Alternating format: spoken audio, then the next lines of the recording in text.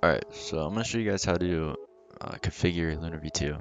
Um, so I'll just go through like all the settings in the UI and then I'll go over um, the settings that aren't even in here. They're in the config.json. Um, I'll go over this first and then that. Um, to start with, I'll just start from the top and go down. Um, so delay is pretty much how long it takes to get to the destination. So you know, if you have this really low, it's going to be really snappy. Um, but if you, you know, make it more, it's going to take a little bit longer to get there. So it looks more legit. And I like using it higher just to make it smoother. Um, FOV is just how big the detection box is, or FOV. Pretty simple. You can also use arrow keys to move this to make it exactly how you want it. I normally use 350.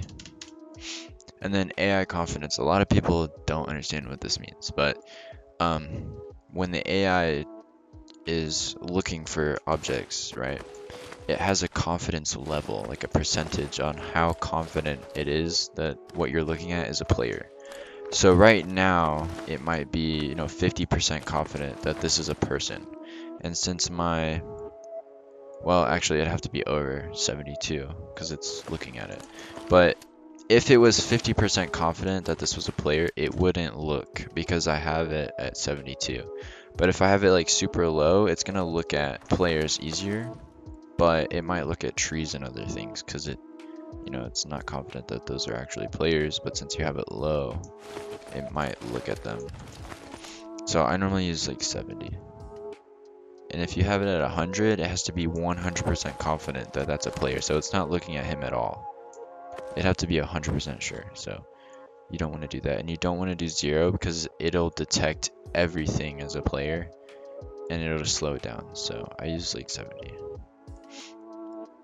Um, pixel increment, it's disabled right now because I have used smoothness percentage. Um, smoothness percentage sets this automatically. So if you have this on, you don't need to worry about this. But it's how many pixels it can move, or it moves um, per iteration. So if you set this to like 5, it'll move 5 pixels at a time versus 1. I normally use 1 because it's smoother. But if you have like a bad PC, you can use a higher. Um, but I, I use this anyways, so I don't worry about that. Um, and then smoothness percentage. Um, a lot of people get this wrong too. The lower it is, the smoother it is. It's based off the distance left, you know, to the player. So if you have it, see, it's at 2%. It's really slow. Um, but if you have it at like 50, you know, it's still slow, but it's smooth. Um, and 100 would basically be off. Because that's 100%. Yeah, that's basically off. And if you make it over 100, let's say 1,000, it's going to be like very, it, will be overcorrecting because it's aiming a thousand percent of what it should be. I normally use like 60 to 80 percent. And then aim height is how high it aims. So it starts at zero. So zero would be like right at above their head because that's the top of the detection box. Um, and then 20 is like, you know, there. If you had it at like five or four, it's gonna be higher up. Just play around with that, how do you like it. I normally use 20, just because it's it looks more legit. Um, trigger bot threshold, this tells the trigger bot when it can shoot. So if if it's locked on and it's within 5 pixels of the destination, then it will shoot. If you had this at 1, it'd have to be spot on, like within one pixel of the destination. Um, so like 10 leaves um, some room for error. So if it was like right there, it'd be shooting. But I have trigger bot off, so it's not going to. I normally use 5. Batch size, this is for like uh, slower computers. It just limits how many times the functions can be run, like the mouse events. Um, so 2 would be more jittery, but you get more FPS when aiming in. Um, so you can mess with that. One just lets it run as many times as possible. I wouldn't go over 10 maybe not even eight. So like I would just say eight is like the max for that, but I use one. Um, all right, so smoothness percentage, we already went over that. It's just enables this. Uh, show FOV overlay just shows the box. Um, Lunar Vision shows this, which shows your FPS and what it's detecting as a player. So it'll draw like a, a line. Um, and you cannot close this because it's running on a loop, so you'll need to turn it off here if you don't want it. Show detections shows obviously the detections. Uh, custom resolution uses this. So if you have like, let's say this is wrong up here, uh, you can get what your normal res is and put it here and click apply, save settings, restart, and then make sure you have this on and it'll be using this instead of this. Trigger bot shoots whenever it's uh, collect images.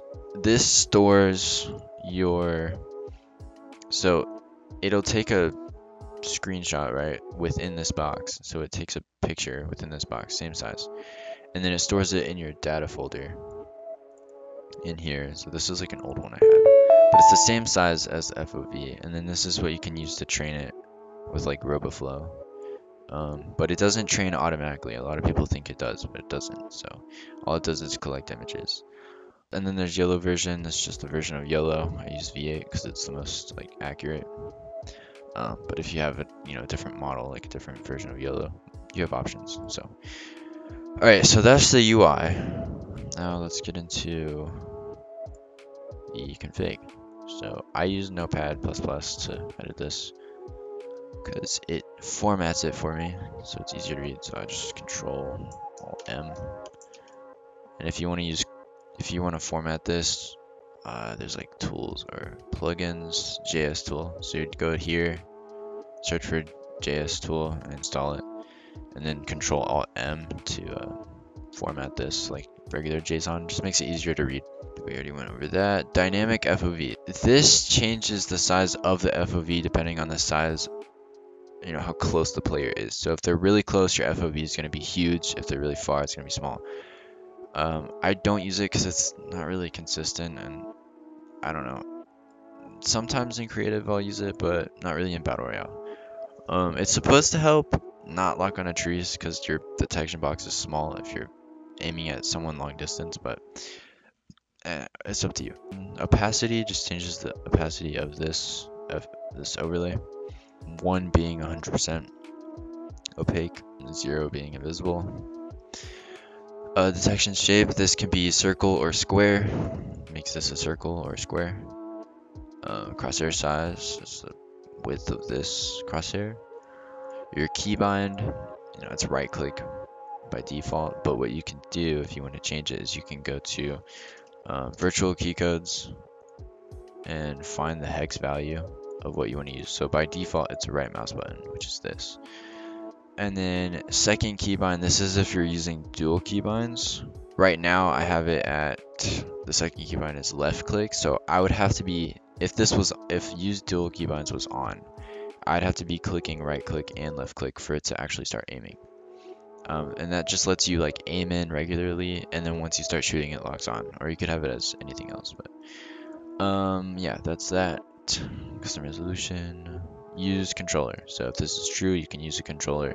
If you're using xbox then it should work fine. Just make sure your controller is plugged in.